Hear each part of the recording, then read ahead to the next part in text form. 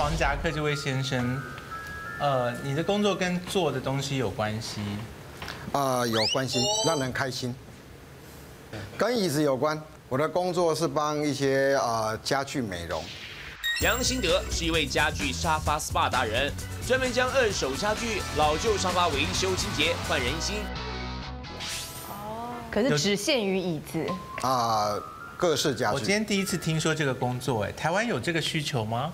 有，哦，我知道了，就那种二手家再生家具是不是？不是？因为他那个家具店卖出去，有时候会运送当中到客人那边会有刮弄伤。脏了，啊，或是有水磨损，又或者是说现在客人在使用很多都是浅色的家具，对，那它的这个以后平常维护也很重要。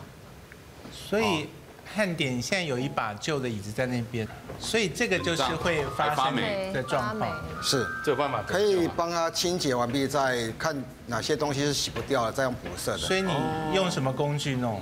啊，等一下会有清洁的工具，工具在这边，嗯，然后我们的脏椅子长这样子的话，大概要花多少时间弄？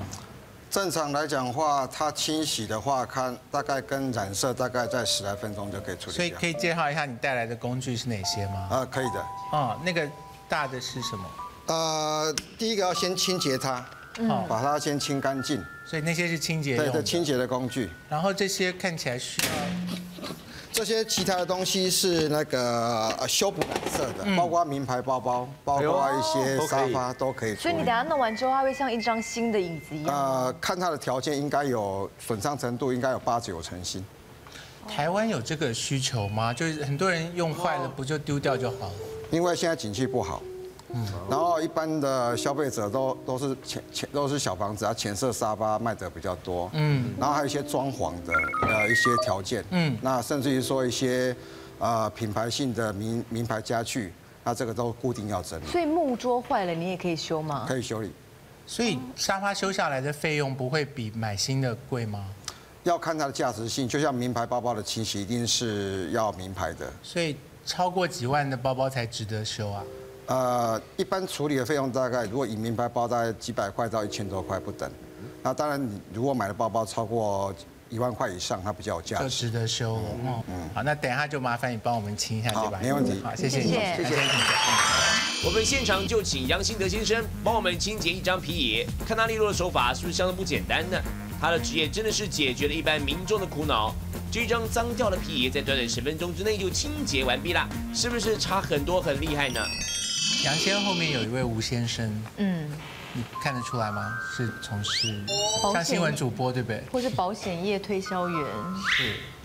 吴先生，你从事过保险业吗？没有，你有播过新闻吗？没有，卖车子、没有，没有，嗯男模，呃，很希望。他应该可能跟前面这两位对啊眼同睛跟说李医师吗？同一同一套的。吴先生是李医师吗？不是，你有拍 A 片吗？还是女子乐队的团员？所以吴先生，你的工作是？呃，宠物生前契约，吴新平专门为宠物设计生前契约，从整理服装到告别式，完全比较人类来办理。宠物生这也算是很新的工作哎。是，对，因为本身我们公司也就是一开始是人的生前契约嘛，对。那后续开始就很多的客户开始希望我们公司有推出这样的一个所以你现在是专攻宠物的生前契约，其实都还是有，人类也还是有。对，主人他规划了之后，宠物就还是会帮他规划这样子。你说会，有主人希望跟自己的宠物葬在一起，是不是？会会有。做宠物生前契约比较那个发生的频率比较密集啊，每十年就会有一个案子上门吧。是，其实会帮宠物签契约的主人，现在有很多吗？呃陆陆续续越来越多，因为大家都没有小孩子，最常见到的宠物是狗。狗，对，其实大部分都是狗狗跟猫比较多所以，兔子有人帮他办，有也有，鸟，呃鸟也有，鸟也有吗？因为有些很大只的那种鸟，蛇也有，对我会讲话的那一种，甚至有蜥蜥蜴、蜥蜴。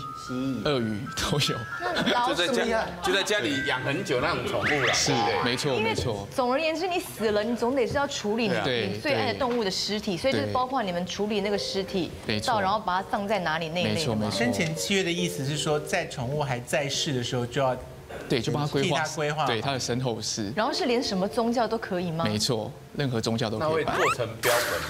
呃，这个比较少，因为因为宠物它会老化，那如果做成如果他那个宠物也会有丧礼吗？也有，那就要请少女去哭吗？呃，目前还没有啊，但有机会。所以如果是哭宠物，你之 OK 吗前有？人问过，可是不不知道怎么哭啊。对，就是因为他听不懂人类。而且还有很多宠物爸妈，他们会带着他们来看现场的商品跟空间，挑骨灰你说让？宠物自己挑，就是让他在那边玩，然后在那边看，然后就很开心这样子。对，你们有尊重那个宠物吗？所以他如果一直徘徊在某一个骨灰坛旁边，就表示他比较喜欢这一个。这个是有，这个是有的。嗯，所以现在你已经有客户是主人跟宠物葬在一起了吗呃，？其实大部分的人不会跟宠物放在一起，可以。对，但是他们希望就是说像有一个宠物的房子这样子。你们对待那个宠物的态度是一定要把它当成人，对不对？当然，其实因为我们整个服务内容也会有礼仪师，嗯，会有从头到尾礼仪师，他会帮这个宠物，他可能会帮他先简单的擦拭，然后会帮他梳妆。所以燕京，你没有做过宠物吗目前没有。？OK，这个我当时不知道有这个行业，可是后来我们家狗开始纷纷过世之后，就发现其实狗也是需要有一套那个处理方式因为。还是应该这是为了还在世的人着想吧，就是是，当然这也是一个算是卫生问题啦。因为其实很多的宠物，它如果真的在临终了或者是往生，那没有处理的话，其实也会有对啊，你也不可能自己找一个地方乱埋啊，对所以就是希望它还是有一个很好的 ending。对对，吴梦如刚才有回答我们说，她的工工作有淡季跟旺季，是，Sorry，对不起，对不起。所以你是专门跟人家说对不起的吗？道歉了。我可以猜吗？是不是离离婚那种事务所婚协议？你说帮人家谈判婚姻的吗？就他要跟那些拆散别人，所以要跟别人说对不起。所以你做的事情是一个很对不起别人的事情吗，帮人家调事不是，所以你是替人家去说对不起的吗？哎，是吴梦如重拾代客跑腿的道歉，不管是排队还是送货，都保持使命必达的心，以服务客人为至上。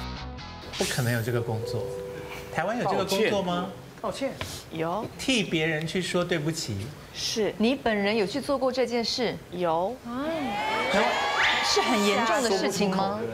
别人说为什么他当事人不自己去道歉？对啊，嗯，当事人可能已经有有用试过用别的途径，可是被打回了。还愿意接受一个陌生人去跟他道歉吗？更没诚意吧？哎，我们有我们的技巧。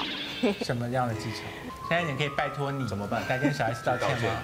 对，这个事前可能要做好沟通跟了解他的背景，然后我们才可以跟他做沟通，说我们要怎么样去执行。在中天门口拉布条，你上班就看到这样。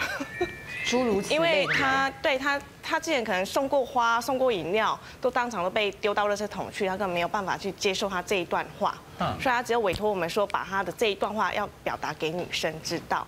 这种工作应该发生的几率很低吧？对，那收费要怎么收啊？收费我们看事情的难易度。对，那我们其实我们还有别的工作，你们可以猜猜看。除了道歉还有别的工作？，对，我们我给你们就是我们是一个服务业，哼，那我们是全方位，还有我们要出任务。所以你可以在过年期间扮演别人的家人吗？这个目前没有人委托，哎，对，你可以去帮我们拜年，拜年，哎，希望我可以接到。帮忙拜年很没有用吧因？为有时候远房亲戚真的是来这里啊，我们其实我们是一个全方位代客跑腿的服务的那我们包含了食衣住行、娱乐，还有医疗、宗教、爱情跟特，我们有一些特殊的。对，这一些都是我们已经帮人家服务过的案件。等于说葬礼我自己没有空去鞠躬的话，你可以替我去鞠躬。对，我们可能会帮你找人，可是这可能都要做好事前的背景了解跟沟通。嗯，对，因为那当事人当事人可能会觉得你很没诚意啊。因为万一陈汉典葬礼，然后你还叫他去举，这样会不会？陈安典葬礼我一定本人去啊。谢 谢谢谢。比如说现在很热卖的甜甜圈买不到，你可以去帮他买吗？对，我们会帮他。我们现在最热门就是帮帮人家代买甜甜圈。那最热门的这个这个对，也有艺人委托过我们，我们到送达到现场以后才发现，哇，原来是艺人。可是这个是个人隐私，我们就是哦，对。我朋只有友前几天才委托像这样的人去排那个 Jordan 十一代，就是他们公司吗？限量品啊，我不晓得是他们，是因为他说那个牌你先生也可以托他们代练宝物啊。都可以吧哎？可以吗？有，我们就是只要是跑腿公司啊合法、不违法的事，我们都会帮什么。都可以啊这。样我老公要干嘛？就是如果 如果你现在三更，你三更半夜的，我想吃一个台南丝木鱼粥是，他们可以杀到曾经有人住我们台北的，他想要吃台中的火锅，我们从台中帮他买好买好，坐火车上送到他们家。我真的假的？我想你有会常接到小孩子的尾巴，他常吃的东西超多。是代价代价会很高。对啊，其实，在我们粉丝团都有，我们都会列出来，我们今天完成了什么任务，我们都会让大家知道。只是我们因为他这个吴梦如协助指导作业，小薇则当场认错道歉。学生不会请你们写报告吧？真的有。也可以啊，不能。协助，协助指导，协助完成作业啦。就完成。对，协我觉得对学生的寒假作业可以帮忙写吧。不可以明确这件事情，要跟家长道歉我。只是随便讲一讲，还是要凭自己的力量，陪家里的小朋友。